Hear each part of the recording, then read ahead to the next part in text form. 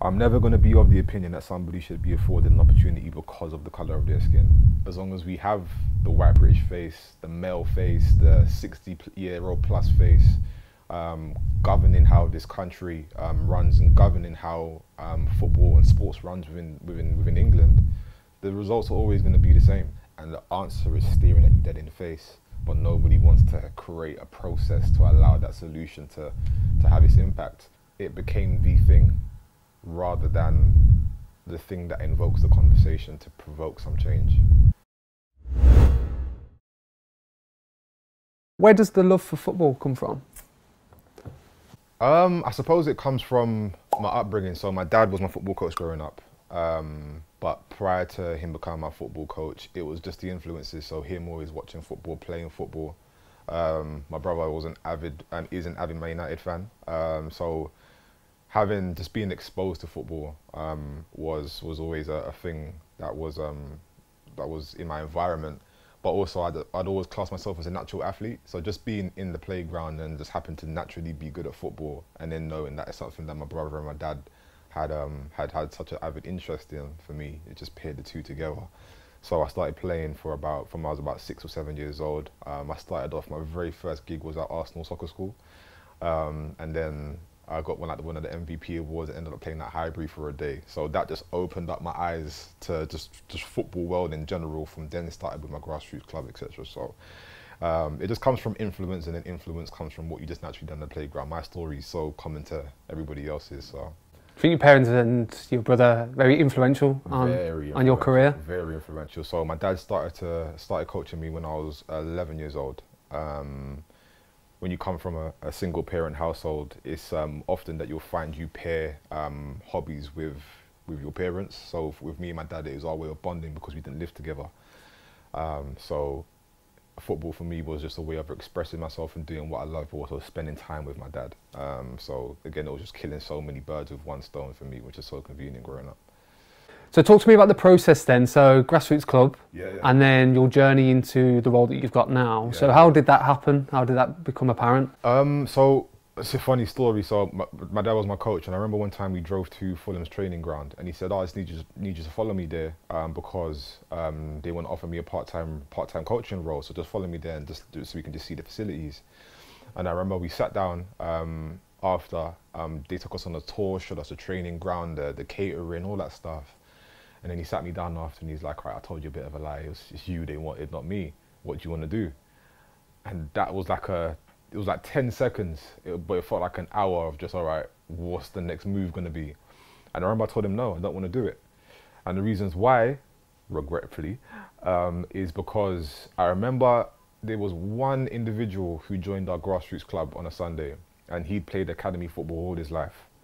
Um, and his debut match for us, I remember this vividly, he was about 12 years old. Um, he stood in the middle of the pitch and he just started to cry. And he looked at my dad. My dad's name's Trevor. He said, "Trevor, I can't. Can you take me off? I can't. I can't handle it." And then we it came to our attention that the pace, the the social elements, the aggressiveness that you find with natural Sunday league football, he couldn't handle it because he'd come from a, an environment that was so cuddled and so pristine and the, the, the surface was like carpet and he came to us on a Sunday, there's potholes everywhere, there's mud and stuff and it's aggressive, high speed and it was overwhelming for him. Mm. And I remember looking at his reaction and I was like, if that's what he's come from and that's on the other side, I don't, I don't want that for myself. I'd rather just turn up on a Sunday and a Saturday and play with my friends. I'm having the time of my life. And that's the decision that I made. Um, so I turned down that decision, which I do regret now at, at 12, 13 years old. And then um, as time goes on, you, you realize that the dream that you thought you was pursuing becomes more and more less of a reality.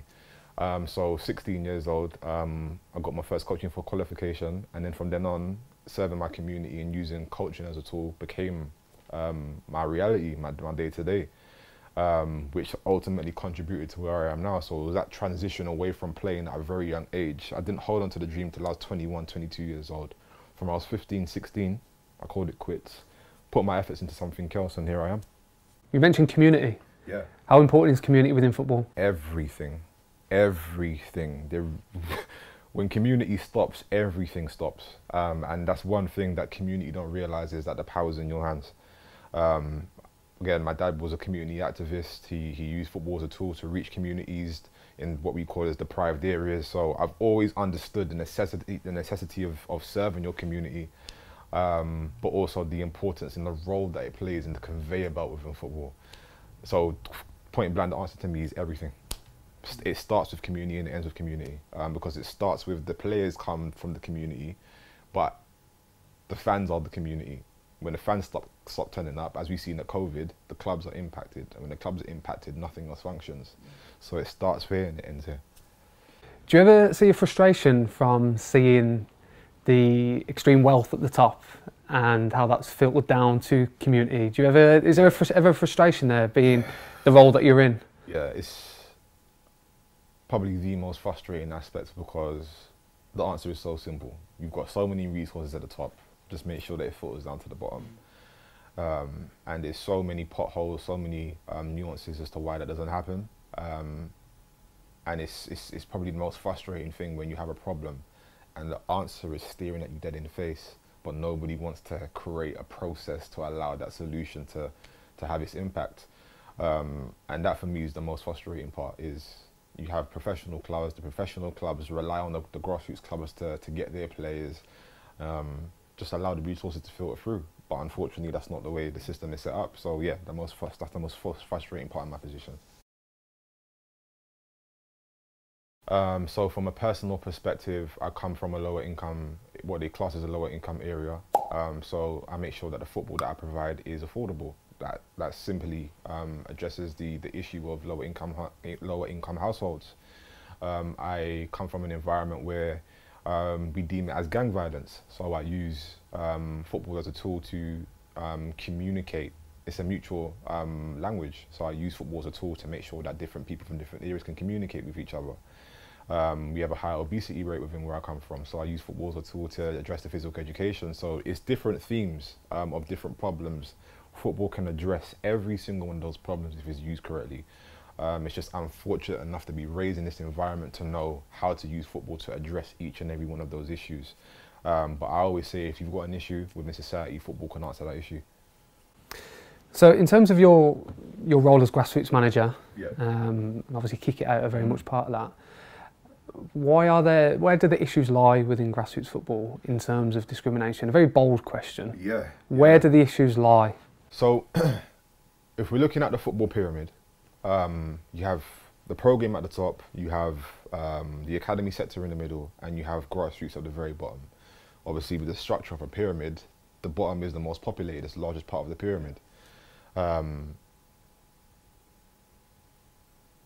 grassroots football is probably the most ungoverned part of the football pyramid because of its mass, because of the population. Um, and unfortunately, in terms of supply and demand, football cannot, as it currently stands, keep up with that supply and demand.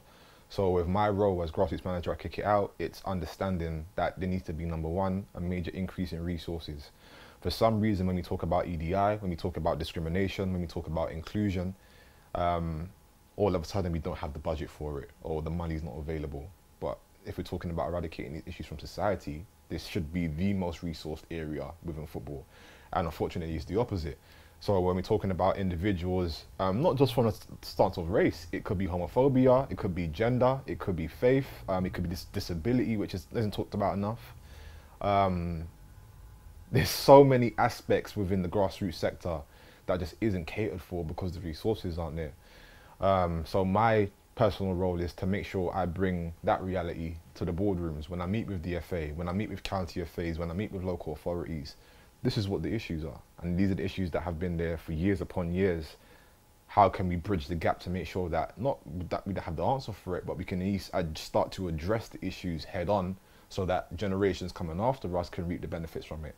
As it stands, we haven't consistently put motion um, into action, um, sorry, action into motion to um, start to address the issues, but consistently the same way that uh, my, my, my grandparents and my parents' um, generations were, were exposed to racism through football was the same way that I was. I was racially abused for the first time when I was 12 years old on a football pitch. My dad had the same issue. Um, so we have to get to a point where we start breaking what I call these generational curses and start facing issues head on. Hopefully my role could be again just being um, an accurate depiction of the needs of the community and bringing that to the boardrooms, which is where the decisions are made. Is there symmetry with other sports? Are other sports having a By similar far. similar issues or by far, yeah? by far. I always say discrimination is discrimination, no matter what, um, how you want to dress it. Um, you can put different clothes on me. Tajean Hutton is always going to be Tajean Hutton, but I just my appearance may be different. I can put on a suit tomorrow. Somebody may deem me as an upper class business person. I'm dressed the way I am now. Somebody will class me as an average middle class person because of my dressing. Doesn't mean that who I am on the inside is changed. Um, so the, the root of the issue is always going to be the same. It just manifests differently um, in accordance to which sport we're referring to. Key point that you mentioned, you mentioned resources Yeah. and and tackling the issue. That's those social issues you mentioned. Racism, but a wide different, uh, a wide um, branch of equality issues that you kind of touched upon. Why is there limited resources put into those areas? I say there's a few reasons as to why. Um, one of the main reasons that I've observed over the past few years is because there's a lack of individuals in influential positions um, who have the influence to influence policy, to approve funding, to approve resources, um, to expand reach. Those individuals don't necessarily come from where we come from, which is the grassroots sector. If you was to go to any corporate organization around the country that governs football or has a major stake in contributing to the development of football, and go to their executive levels or the directors levels and ask them how many of them have actually had experiences in grassroots level, the answer will be probably far few in between. Um, I always say empathy can only take you so far. Um, if I was to speak to a, a, a female um, who's involved in football, my understanding of a female experience can only take me to a particular limit because I'm not a female. You have to have the lived experiences. So when we're talking about um, addressing these issues and making sure that there's adequate resources um, um, to, to, to help have an impact in these areas, it can only come with influential pe- people have the, have the experience or a high amount of empathy to understand the need. In my opinion, that doesn't currently exist. Um, and then when that doesn't exist, what you're relying on is either data, which often isn't necessarily accurate, or you're relying on um, people to try and be empathetic, which again, to be empathetic to the point where it's accurate means you need to spend a lot of time understanding people's experiences. Um, and neither of those things are currently in place, um, which inevitably results into a dictatorship. We think this is what the people want, so let's just give them this, which is so far removed from what the people actually need. Um, so again, it's just having the right people in the right position. Is that a frustration for you? Yeah, yeah. Um, and it's a frustration for me on so many levels because um, people who look like me won't see a, a, a necessity or won't see an opportunity, not a necessity because they understand the needs. They won't um, necessarily feel they will get anywhere trying to apply for those positions um, because historically we can't prove what institutional racism or discrimination looks like, but we know it exists. Um, and until we can prove it from a tangible perspective, nothing will really change. Um, so if a position opens up, somebody who either looks like me or somebody from any other underrepresented group um, sees that position and they'll be reluctant to because as far as they're concerned, the position, the position isn't designed for them, neither will it give them a fair chance. That's something we need to address separately. What kind of things occur within the grassroots sector? Um, one of the common themes is is there's an inconsistency with how discrimination is handled within this country. Um, I know it's something that the FA, because again, we've, we're, we're trying to support them the best way that we can, and as part of supporting is challenging. Um, we're trying to support the FA and county FAs the best way that we can to let them understand um, some of their shortfalls, um, some of the things that they they may be doing that may um, limit their impact. That's going to come with time. We're talking about decades upon decades of continuous, um, and I'd call it mediocre impact. Um, that's going to take years to undo. Um, so, it, number one, the way in which discrimination is handled is probably one of the most inconsistent things within this country. Um, the reasons why is because county FAs who govern f- local football around this country, they're franchised, which a lot of people don't know. So the ideolo- ideologies that you'll find where we are in Manchester may be completely different to London, which may be completely different to Northumberland up north, um, because it's all down to the, the the, the, the, moral compass of the CEO, which will then create the culture that will filter down to each member of staff. Um, you can't manage that because again, it's, it's 50 county up around 50 county FAs around the country. There's 50 completely different organisations with 50 completely ways of doing things. Um, and when things become unmanageable at that point, the um, the resources, um, the attention that you give to these these these subject points will be completely different. At that point, in my opinion, we've um, we've lost complete control, um, which we're steadily trying to regain control of. Um, as a collaborative effort, but as it stands, and I say this, and I've been saying this for years because it's my experience, it's the experience of those who come before me. Um, it's a war zone in grassroots football right now um, because again, the governance is just very inconsistent. Um, and when you have inconsistencies, you have people taking matters into their own hands, um, and that's where the war zone comes from. Um, so the governance is one side of things. Number two is obviously the resources. We need resources to, to make sure there's manpower or, or human power, sorry, um, to make sure that it's governed properly. And then third is education. It's very hard to populate the bottom of the pyramid because there's so many people. Um, but again, that's where the resources come in. If we have a large array of individuals participating in grassroots football, it means we need a large pool of educators. As it stands, that doesn't exist.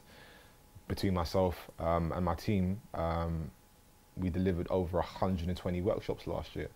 That still doesn't even scratch the surface. Um, so we know there's so much work to do, but there's only so so much that one company or a, a group of individuals can do. Um, so those are the three things I probably highlight as one of the main the major causes for concern. Do you think on that point? Do you think government needs to step in then in terms of national curriculum education within schools? Oh, without doubt. Do you think that will happen more now? Do you, no? No. For what reason? Again, there's lack of individuals with lack of experiences in those influential positions. Um, as long as we have the white British face, the male face, the 60 year old plus face, um, governing how this country um, runs and governing how um, football and sports runs within, within, within England, the results are always going to be the same. Um, I'm still having conversations with individuals as to why the word coloured is unacceptable. That's because there's a particular demographic of individual who governs um, institutions within, within or just sports in general around the country until that changes, we're always going to face the same issue. Um, what we need is a change of, of, of diversity within leadership. Until that happens, it's going to be the same conveyor belt over and over again.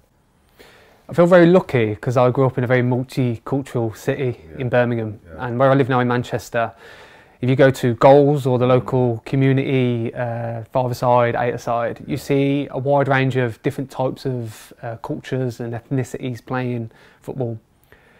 I remember being, um, I went football the other week and I remember seeing Asian communities, Jewish communities all playing. And it kind of hit me to think that actually I've never seen any of that community kind of progress into yeah. the elite level. Yeah. Why do you think that is? Why do you think that's, why do you think that's an issue in terms of the progression into elite football? Which communities are we talking about specifically? Asian communities, for example. Yeah, yeah so Asian communities, we'll use that as, a, as, a, as an example. Okay. In terms of representation at the top, yeah, yeah, because yeah. there's so many that play mm-hmm. football. Mm-hmm. Right. Why is there a limitation towards that? I just want to get your thoughts on, on that. I'm going to give a disclaimer first, and my disclaimer will tie into my answer. Please, please do. I can never, and never will I try to speak for the Asian community. Okay. Why? Because I'm not Asian. Um, yes, I'm an ethnic minority because of my skin color, but I'll give you a very prime example. If we're talking about grassroots football, black people do not have a participation issue within grassroots football. Neither do black people have an issue um, developing through the academy system in abundance. To find the most black individuals within the academy sector now. We've fought years upon years to get to this point, and now we are, and we still got a lot to, to work on. But in terms of numbers wise, um, it's not an issue that we face. Participation and and developing through and into and through the academy system is definitely an uh, issue that is exclusive to the Asian community. Um, and it's something that I've, I've never experienced because again, it's just not what, what the, the issues that the people who look like me, um, the issues that people who look like me face. Um, so I'll give that caveat again because I never want to do any communities this justice by believing that I can speak for all. And the reasons why I had to give that as an initial disclaimer is because that's one of the reasons why um, the issue exists. Individuals group everybody together into thinking that grouping everybody together is going to provide answers to the issues. So somebody will look at an increase in black individuals in the academy sector and think, all right, we've got enough BAME individuals within the academy sector now. Here's the issue doesn't exist anymore. No, no, no. You have the B part of BAME as part of the um, as part of the academy sector now. You've missed out the A. And this is what happens when you group people together, is you try to group people together with one solution. So you've addressed one very small part, uh, in as big as it may be integral, um, integrity-wise, you've missed, you've, you've, you've addressed one issue, which is the B of the BAME, and completely missed out the A. But because we bracket everybody now, we, we seem to believe that the issue doesn't exist. Until football as a whole starts to address each underrepresented community group individually for whom they are, the issue will always exist.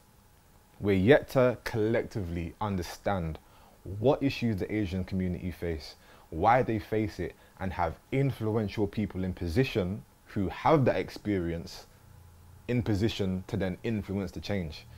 Um, and that only happens when we address the issues that Asian people face directly stop banding everybody together. And football's been so guilty of that by using this terminology, which I dis- discredit to the core of BAME. The issues that black people face is completely different to the issues that Asian people face, but we address all of them the same way. Um, so that'll be the number one thing for me is football still as a whole still hasn't addressed the Asian issue. Um, there's so many stereotypical um, comebacks that I've heard in regards to Asian progression, such as, oh, when they reach 13 to 14 years old, they're still focus on their studies and GCSEs, and parents don't see um, examples of them on the TV, so they discourage their children. How do you know that? Have you asked the question? If so, whom have you asked? Is there influential position, people in position who have that experience to either approve or disapprove of that? There's so many stereotypes that have filtered down now, which which has created a narrative that so many people run with, um, which has contributed as to why whenever we try to address this Asian issue, um, or the, sorry the issues that the Asian community face, um, it's it's being received as mediocre. We don't want tick box exercises here. We don't want conferences for the sake of conferences or road shows for the sake of road shows or media campaigns for the sake of media and ca campaigns. All the things that I've been done previously, where have they led to and what have been the results of that? Until we bring those tangible pieces of data and evidence to the table, the Asian community are well within their right to say this is tokenistic. And that's often the response that we see whenever there are Asian inclusion or Asian action plans in place. It's okay, we've been here before, what's different this time? Um, football needs to be very specific with the issues that they address now. This idea of banding everybody together in one box has to stop um, because that, for me, at this point, is just a blatant form of disrespect. Disrespect to those who are not heard, um, and then disrespect to the people um, who have fought and, and really sacrificed their health and their lives to get to this point of trying to get their communities to a point of being heard. Um, and when football isn't listening, at that point, again, we just revert back to the dictatorship, and this is where we are. How do we change that then, in terms of that banding everyone together? Can we change that? Yeah. Is there methods of doing that? Yeah, I think there's methods of doing that, but only comes with leadership. Um, leadership has to change. So yes, we know there's no room for racism. Yes, we know that um, that we have to show racism red card. Yes, we know we have to kick it out. But when we're breaking down the the the, um, the structure of what that actually looks like and putting actions um, to to those themes, what does the actions look like? Who are we involving in the actions? What does the demographics of the leadership look like? Again, it always boils down to leadership um, and the strategies that are put in place, but more so you putting money where your mouth is.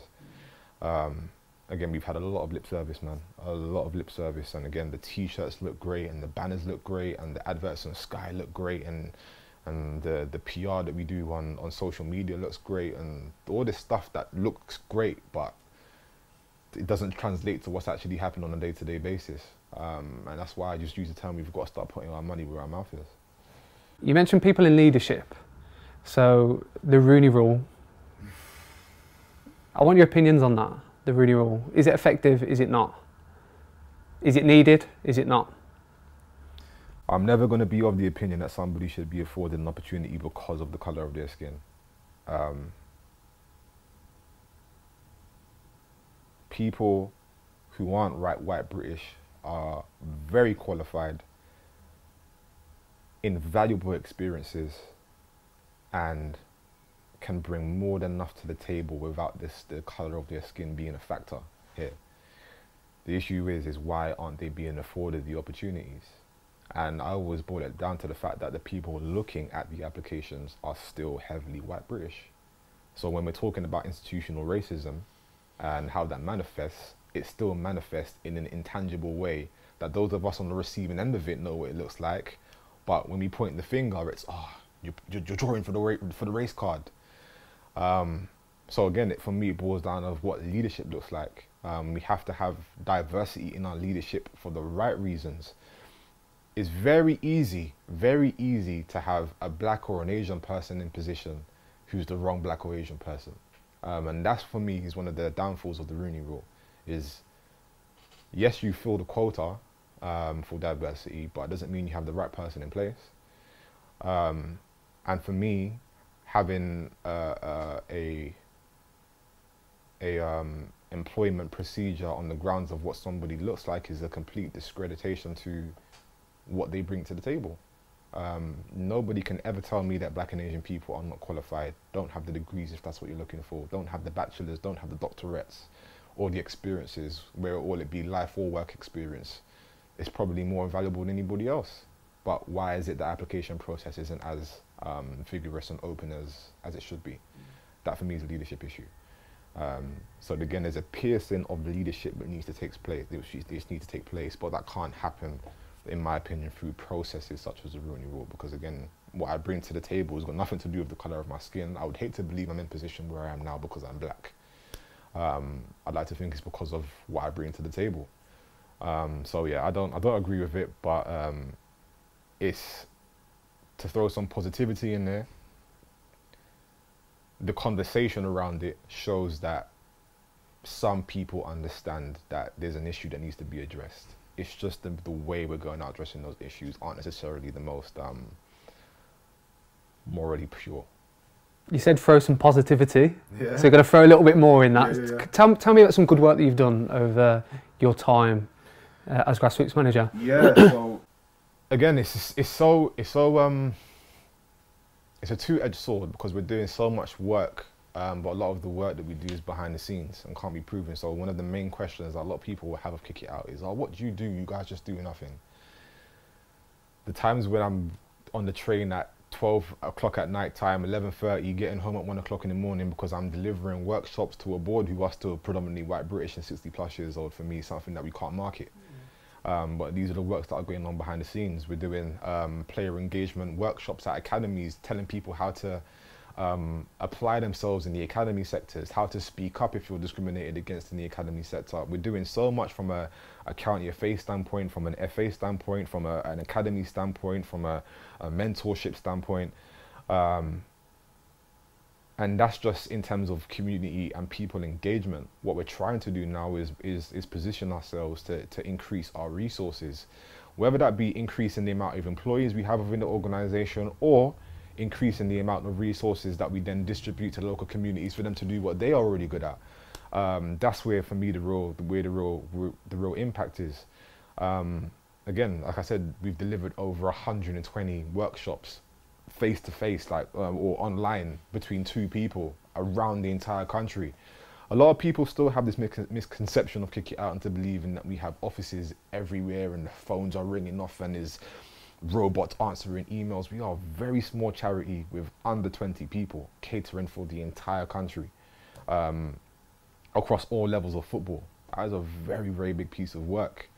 Um, so considering the lack of resources that we have, um, a lot of us who are on the ground doing work are spreading ourselves very, very thinly. Um, in terms of just the time that we have within the working day. A lot of us go above and beyond. I wake up in the, in the morning, the first thing I'm doing is checking emails. I go to bed at night time, the, the last thing I'm doing is writing up a presentation or a, a proposal or educational resource. Um, so there's a lot of early mornings and a lot of late nights that, again, you just can't explain to people. And to be honest with you, we, we shouldn't have to because we're not doing it to shine a light on Kick It Out. We're not doing it to um, to expand our brand. We're not doing it to um, to gain more followers. We're doing it because it's the right thing to do. Um, and those of us who are deliverers or on the ground, we're doing it because number one of our experiences, and number two, it's so important that whilst we are in position to be around the table with the FA and county FAs and the Premier League and the EFL and the PFA, it's so important that we act as an accurate depiction of the needs of the communities and the individuals who we're serving. Um, so in a very tight nutshell, man, is a lot of work that we're doing behind the scenes. Um, a lot of sleepless nights um, between us. A lot of um, early mornings. Um, but again, these are just behind the scenes things that we do to fight people's corners. If we get a discrimination case and it hasn't been handled adequately by county FA, guess who's onto that? Kick it out. We can't prove that, and it's not our job to prove that. It's our job to just continue to serve our communities to make sure that their outcomes are just to make sure that they're served the way they should be served. Um, so for me, um, a very political, but some people may see it as political answer, but for me, it's just making sure that we're serving the communities the way that we should be, but not neglecting the fact that we do need an increase in resources to make sure that we're, we're seen more. Um, I've always been of the opinion um, that banners will always have its lim limitations. T-shirts that we've been known for will always have limitations. Um, but it's the behind the scenes work that we do has that has the most impact. But again, that's the work that's just not seen, um, and rightfully so because it's but that's why they call it behind the scenes. So very political answer, but that's what we do. You know. Tell me if I'm wrong. Is it hard to quantify your work because of the element of educating others and seeing maybe, say for example, there was racism and people were maybe fearful of talking about that incident or yeah. not really educated to understand that was racism. Yeah. And it kind of gets brushed under the carpet a little bit. Do you feel like sometimes your work can be challenging to kind of measure in mm. terms of that element of quantifying how many issues around yeah, race yeah, happens? If that makes sense. No, 100%. From a publicity standpoint, in terms of informing the general public, 100%. Um, and that's the reasons why the narrative around Kick It Out still is what you guys do. Um, we do have to quantify our work to appease our, our funders. Um, so it's important that we can quantify our work um, in some respect just to make sure that they are aware of what we're doing on a day-to-day basis. Um, but in terms of how that translates to the general public and informing them on what we do, um, for me is, is where the hard work continues to be. The need is so strong um, and the need is, is, is, is ever growing. People are going to continue to be discriminated against, um, both in the communities, the grassroots, all the way through to the program and in between. Um, the issue is the amount of work that we do um, and the, uh, the, the amount that, that that work is translated to the public will never really be enough because the need is always going to exceed what we can bring to the table as long as the resources stay the way they are. Um, so even if we increase our public presence in terms of uh, how informative we are, um, the need will always exceed that because of the way society is within England at the moment. So it's literally sometimes like filling water into a bucket with a hole in the middle. Um, because again, number one, the need will always be um, greater than the work that we do, but also um, we don't do it to, to speak about why we do what we do and why we do. We do it again because it's the right thing to do, um, and we're and we're fortunate enough to be in a very influential position to do so. So one question I wanted to ask was about taking the knee because I think it's publicised a lot yeah. in, in, in the media at the moment, especially in the Premier League. And I know your role is grassroots, um, but we we all kind of are exposed to the elite level. It's something that we all live for for the weekend as a spectator and, and a watcher. Um, what are your thoughts on taking the knee and some of the implications that have been put in place recently? Taking the knee is a very interesting one because initially it had it somewhat had an impact um, because again it was something that nobody had ever seen before. My issue with taking the knee is it became the thing rather than the thing that invokes the conversation to provoke some change. Um, the fact that taking a knee in, in itself has become the talking point for me. We've we've deviated from from what the original intent was, and the original intent was was to show um, through some type of um, public gesture that there are inequalities in not just in football but around the world. Because again, it originated from the NFL, so it's not a, a football exclusive thing.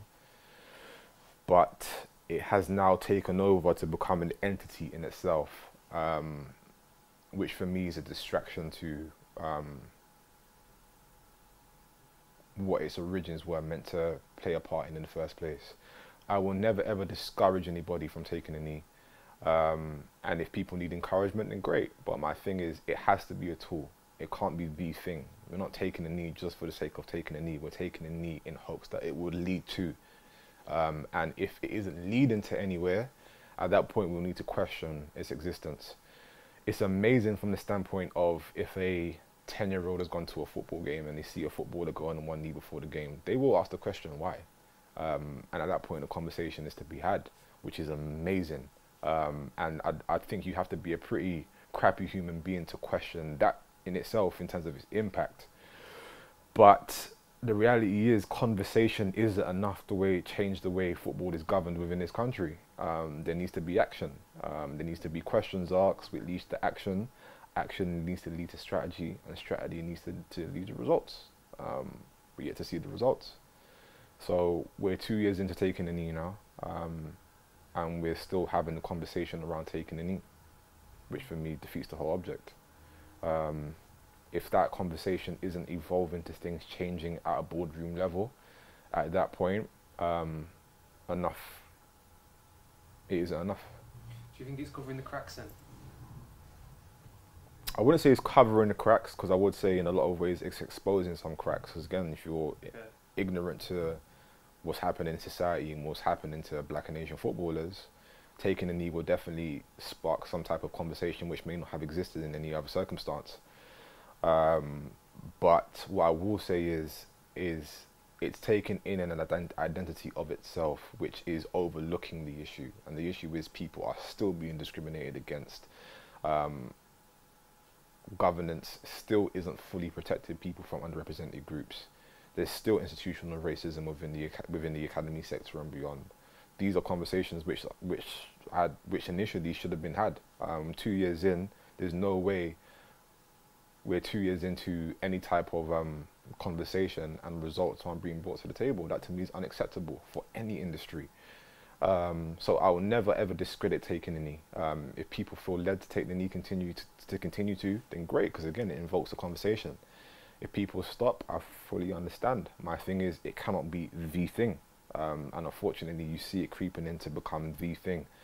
Um, which again, for me, isn't again. So tying it back isn't covering any cracks, but it's more so um, overlooking its original intent and that's the, the concerning thing for me is you can't overlook the reasons of its origins. What do you think of those that refuse to take the knee, and then there's there was occasions where people booed taking the knee? Yeah. What are your opinions on that? The people who refuse to take the knee, I will, you cannot discredit them because they, they're refusing to take the knee for, for the most part, um, the, the individuals who are refusing to take the knee because they're seeing a lack of change. Um, and you can't discredit that. It's the, the proof's in the pudding. A lot of things are still the same. So if they refuse to to do a gesture because they feel that the gesture it hasn't ha- doesn't have any impact, you are well within your right to stand up on, on that stance. for those who boo the knee, on the other hand, um, for me is an open declaration as to where you stand yes, there are political elements that are tied to the, the movement of Black Lives Matter and all that stuff, but the reality is there is an issue which has played and affected black people for decades. That's that's got nothing to do with Black Lives Matter.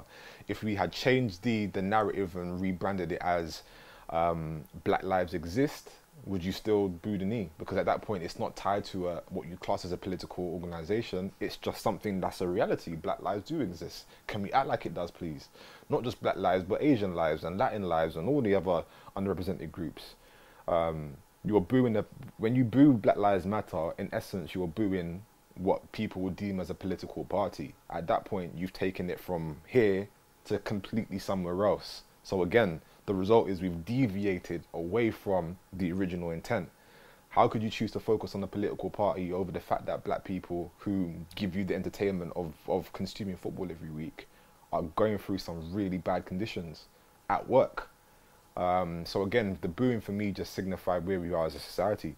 Um, a lot, some people choose to address the, and support the issues that we face, and some others choose to use their voices to, um, again, overlook the issues and place that on areas which for us aren't important. Um, so yes, it's two different stances. Social media is a massive tool now. Um, we had incidents last year during the Euros, um, and I know we kind of look at it from an elite perspective. Mm in, I presume in grassroots we do have issues around discrimination online. We're very quick to to highlight when a, professional player is abused on social media. Um, or all the professional player needs to do is send out a tweet with a screenshot of the abuse they've received, and the whole world goes into a frenzy for 24 hours, and then they move on again. Grassroots players go through that every week, um, but because they're not a, a, national figure, because they haven't got a blue tick next to their Twitter handle, um, nobody cares um, which goes back to what I was saying previously in regards to fo- grassroots football or the grassroots sector just being the most ungoverned sector of of um, of the football pyramid. Um, this issue of social media abuse for me goes beyond football, um, and it's a social media issue in general. Um, and if the individuals who um, run these these social media companies don't put policies in place and are in a, and allow that to be or force the importance of that being in alignment with law, um, they're the ones doing a disjustice to the, the, people on the receiving end. We do say all the time that, that hate crime is against the law, and if you want to report it to the police, you can. Why on earth is that not translated to social media? Um, that's for me because the guidelines around how these social um, media companies um, are, are, portrayed is you can get away with it because nothing much will happen if you if you do it um, unless it's a public figure. Um, is Marcus Rashford any more or less important than than um, Marcus Albert round the corner? Two Marcuses, just one's got a blue tick, the one's famous and one isn't. They may have the same type of abuse. It's just one's got attention and is acted upon swiftly, as, as swiftly as, as well, not swiftly as it should be, but it's still acted upon. And the other Marcus isn't because he's not famous. He doesn't have a blue tick. Again, it's just a reflection of how grassroots is in general. Um, so from that perspective, it has to boil down to us holding social media companies to account. There's so many aspects in which we are, such as the online safety bill, um, and definitely having meetings with Twitter and Facebook and Instagram and TikTok directly to let them understand the error in their ways or their, their shortfalls. But again, for me, it just boils down to leadership. Do you have individuals in place who knows what it feels like to be on the receiving end of this? Do they have family members who knows what it feels like to be on the receiving end of it? If they don't, you're relying on empathy how much uh, education are you investing in your empathy to let you fully understand the, the magnitude of this issue? I'd question that.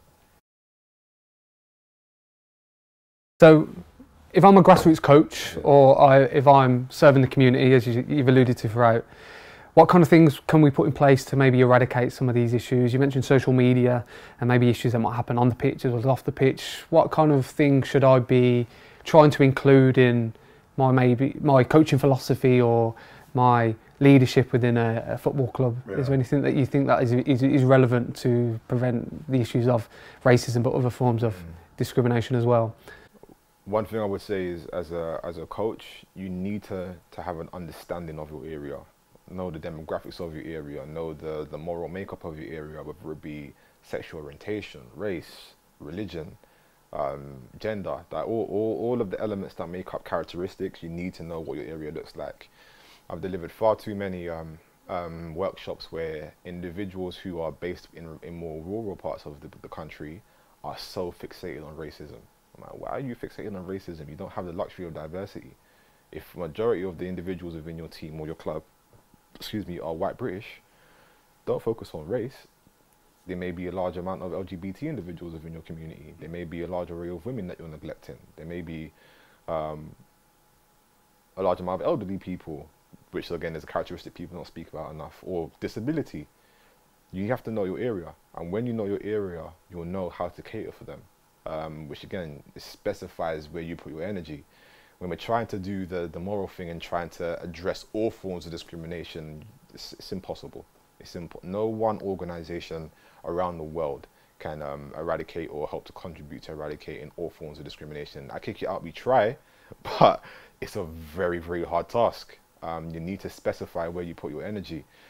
Um, so the first thing I would say is to know your area, and that will allow you to specify where you put your energy. If you're in a particular part of the country, and again, there's a large um, female population, focus on the experiences of women within football. If it's the LGBT community, focus on the LGBT experience. That would then allow you to fine tune how your club approaches what is the larger demographic of your area. Um, and you'll find your, your, your impact will will probably be more beneficial in that way because you're tailoring towards a specific community. Um, so that'll be the first thing. The second thing is, is, is make sure you're fully aware of FA procedures and processes. Um, every corner of it, so that when incidents do happen, you know what your rights are, you know what procedures to follow, um, and you know how to safeguard the individuals within your care. Um, and finally, um, educate yourself. Um, whilst you may have a particular niche that you're catering for in accordance to the demographics of your area, having a very foundational understanding of what just EDI and discrimination um, requires of you as a human being will go a very long way. Um, there's so many resources out there that you can educate yourself across the board. Um, and for me, it's just a sign of laziness if somebody turns around and says they didn't know. The information is there. We're in the era of millennials now, or Generation Z now, where we, we're sport for choice when it comes to educational resources use them. Um, and if you can't find any, ask somebody the question who will be able, be able to direct you to where the information is. Um, and understand that your role as a um, football coach isn't limited to football. You, I, I, can't, I cannot stand it when people say, "Oh, it's not a, it's not a football issue; it's a society issue." Mm. Football plays such an integral part of society. You cannot separate the two, mm. because your football coach is your local police officer. Your football coach is your um, your local politician, your football parent is your local school teacher, head teacher. It all intertwines. You cannot separate the two. Um, so we have a moral duty as a human being to be the best that we can into making sure that we understand in everybody's experiences to the best of our ability. But it only comes when you educate yourself. Um, so utilize the information that we have at our, at our disposal for free. Um, so those would be the three elements that I would encourage coaches to um, to, to in, in engage in immediately. But it's just again, I, it's understanding that it's never just a football coach. You're a dad figure, you're a mum figure, you're a big brother, a big sister, you're a, a mentor. Um, it goes far beyond football, and you should take it that that that responsibility very seriously. I would say there's there's two strands of information that you have access to. You have access to formal education and informal education. I class formal education as a direct link to policies and procedures and things that's required of you in a particular role. At that point, there's there's a, a large array of of um, courses that the FA provide in regards to what you should do. Kick It Out provide a large amount of, of resources in regards to how to handle discrimination. Um, there's safeguarding courses from various bespoke organizations or individual organizations around the country. Um, so in terms of formal education, there's so many organizations who can provide a structured form of education, whether it be a workshop or an online module or a real life education resource or course.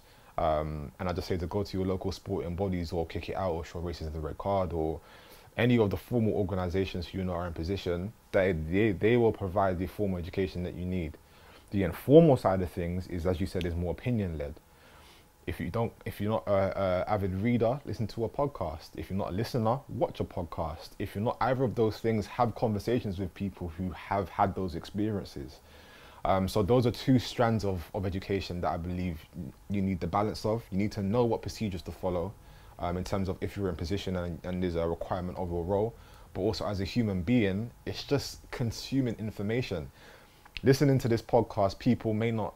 Um, nothing that we're saying is, is factual. It's my experiences, it's your experiences. We're having a conversation, but it's opening your ears to the conversation to then enlighten you to a different perspective. Um, that's the important part of for me, the informal side of things is open your horizons. What is it like to be a Sikh individual in England? What is it like to be a, a Southeast Asian within England? What is it like to be black and, and, and living in in um, in Norfolk, which, which is predominantly white British? What is it like to be a female in a heavily football male dominated industry? What is it like to have a disability and not have access to certain things that you feel that you rightfully should have access to? This is where the informalities come in in terms of podcasts and books and interviews and, and radio conversations and stuff. It's just opening your perspective. And one of the things that I believe football has been so guilty of um, and just probably British society in general is a very narrow-minded way of, of, of thinking. Um, and that's the reasons why I believe that the younger generations um, embrace diversity more because they have access to, to, to more means of, of, um, of perspective. Um, again, if I, if I have a conversation with somebody who's 60 plus years old and is, is, is a white British male, they won't have any um, issues with, with using the word coloured or half caste or describing female football in a particular way. Because in terms of the information they consumed in a particular period in time that's what was, that's what the narrative was. Whereas millennials and generation z etc we have so much information at our disposal. You have no excuse to not expose yourself to another way of thinking or another way of life or to understand another life experience um, so yeah, that's the, my long way of saying there's two strands of information, formal and informal, and you have to have a balance of the two. Final question, yeah, Tajean. That went quickly, boy. what we normally do is we normally get our guests to look back at their career. Okay. I'm going to get you to look forward. Okay. Yeah. So the day you come to the end mm. uh, in terms of your position, yeah. um, grassroots manager, whatever it is, yeah, uh, obviously in this area, what do you think your legacy would be? That's a beautiful question. Um, my legacy will be um, creating a space where individuals can feel comfortable being themselves in a boardroom setting. Um, there's been far too many examples where individuals from unrepresented groups get into position and they end up conforming themselves to a way of speaking or um, a way of dressing to appease the people who pay their paychecks at that point you've completely diluted the experience that needed to be brought to the table. Um, so my legacy for me is, and anybody will tell you from an FA perspective, from a county FA perspective, from uh, a local authority perspective, when Tajean Hutton comes to a room, Tajean Hutton is in himself. Um, I have no issues at all um, telling anybody when I think they're in the wrong, because my thing is, um, being an accurate depiction and an accurate reflection of what underrepresented communities need.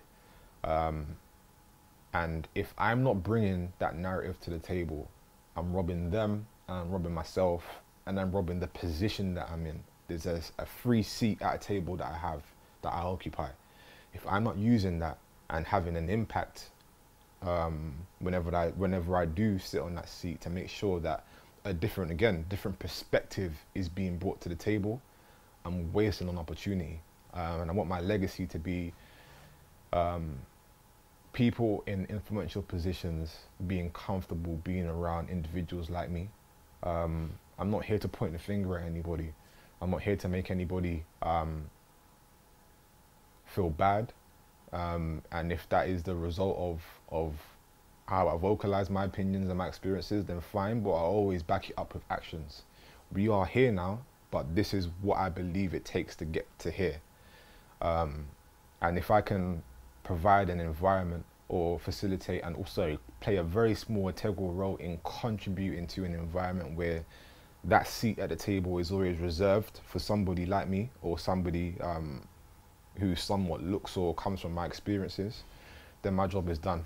Um, what I'm doing in my, my position is just opening a door that's already been cracked for me.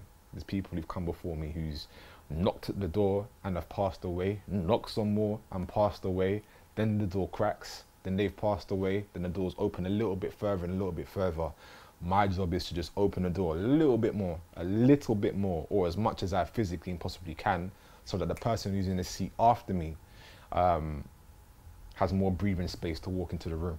Uh, and that's that's where I see my legacy to be. Tajean, thank you so much. Where can we where can we connect with you? So any listeners want to Um, maybe connect with you or I'm not find a little social bit more? media guy guy. at all, man. But I'm somewhat ad hoc on Twitter every now and again. Um, I don't have Instagram. My, my Facebook is dormant. So yeah, you can probably find me on Twitter any, every now and again if I've got something to rant about my United. Um, but yeah, that's that's my main means of contact. Or just use one of my work email addresses. That's that's that's all we can we can touch base the best. Put your uh, Instagram Yeah, in yeah, the yeah, description. Yeah, Yeah. Tw- Twitter, Twitter. No Instagram for me, man. No Instagram for me. man. Thank you so much, Yeah, mate. no, my Cheers. pleasure, man. Thank My you. Thank you Cheers. having me.